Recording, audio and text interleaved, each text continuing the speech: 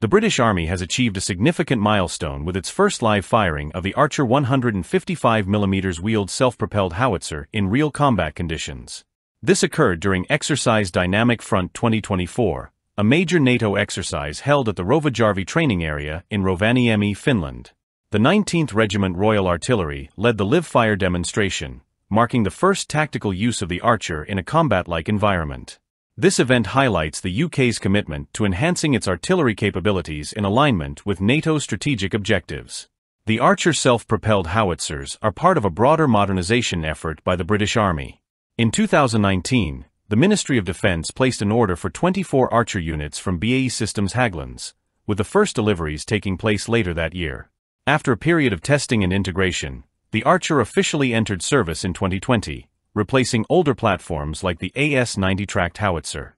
The new system offers superior mobility, firepower, and advanced technology, making it a crucial part of the British Army's artillery modernization plan. By July 2024, the British Army reached a key milestone by accepting all 14 Archer systems into service. This acquisition significantly bolstered the Army's 155mm close support artillery capabilities, particularly following the transfer of 32 AS-90 units to the Ukrainian armed forces. The final 10 Archer units were swiftly integrated into the British artillery arsenal, ensuring the UK could maintain robust artillery support while continuing development on future systems like the remote-controlled howitzer. Along with the delivery of the howitzers, the UK benefits from long-term maintenance and technical support, helping to ensure the Archer's sustained operational effectiveness. The integration of the Archer is also supported through ongoing training and participation in multinational exercises such as Dynamic Front, strengthening ties with NATO partners and testing the system's capabilities in realistic scenarios. Exercise Dynamic Front, one of NATO's most important joint artillery exercises, involves over 5,000 soldiers from 28 nations. The UK sent more than 250 personnel, with the 19th Regiment Royal Artillery leading artillery operations. In this exercise, the Archer was used in live-fire scenarios to evaluate its performance under real combat conditions. Additionally, the 5th Regiment Royal Artillery introduced the new Taipan radar system for precision targeting, further enhancing artillery operations effectiveness. The Archer is a cutting-edge artillery system, designed and manufactured by Sweden's Bofors Defense. Equipped with a 155mm L-52 howitzer, the Archer is capable of firing NATO standard 155mm shells, including high-explosive, guided, and extended-range projectiles, providing both offensive and defensive fire support. One of the most notable features of the Archer is its automated loading system, which significantly reduces crew workload and increases operational efficiency.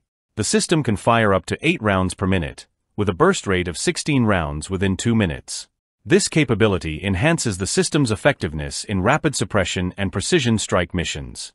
Mounted on a Volvo A30D all-terrain chassis, the Archer offers exceptional mobility, ensuring that it can quickly relocate on the battlefield.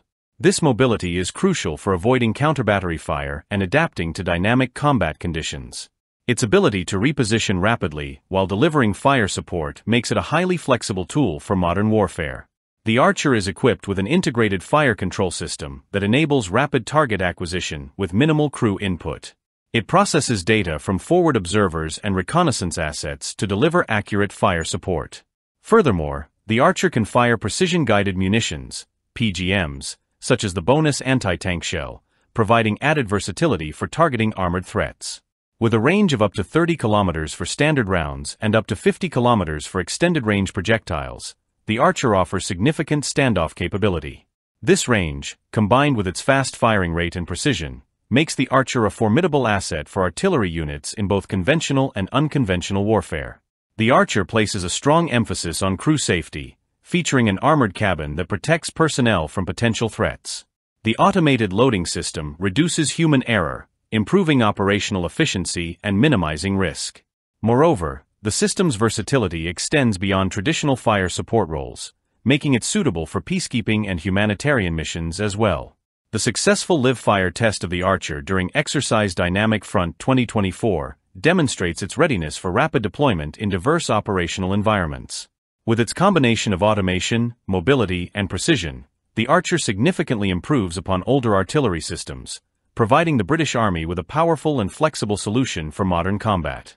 As the British Army continues to modernize its artillery forces, the Archer self-propelled howitzer will play an integral role in strengthening the UK's defence capabilities and contributing to NATO's collective firepower.